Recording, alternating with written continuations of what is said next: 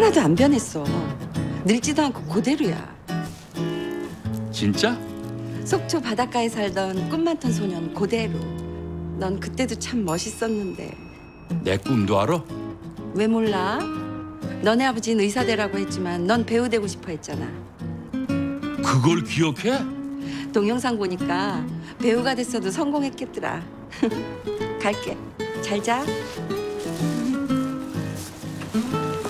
언니만 잘 가.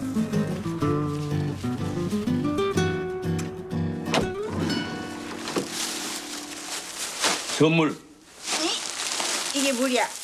웬 덮버섯? 꺼지는 이거 없어? 해도 해도 너무하네.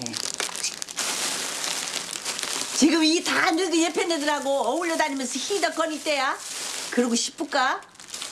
재순이까지 집 나가서 살았는지 죽었는지도 모르는데 재순이 찾았잖요. 자식이 저러고 생고생을 하는데 부모 되는 사람이 뭐 하는 짓이냐고 아, 동창이라 어쩔 수 없이 나갔다.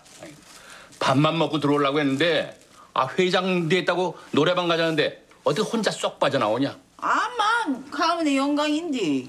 그리고 술 한 잔 먹으니 잠깐 잊어지기도 해. 응?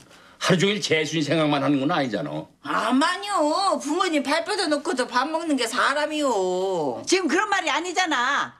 어떻게 남들만도 못하냐? 하다못해 남들은 미역국도 끓여오고 케이크도 사오는데 어떻게 알아주는 놈이라고 한 놈도 없어. 이게 무슨 말이야? 오늘날 생일이야. 아, 이게 웬걸? 아 이것들 아무도 몰랐어? 아, 재순이가 없으니 할 사람이 있까?